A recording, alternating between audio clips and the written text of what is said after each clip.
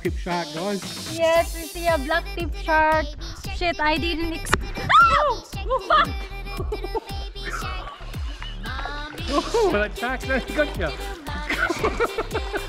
For fuck's sake, Leon!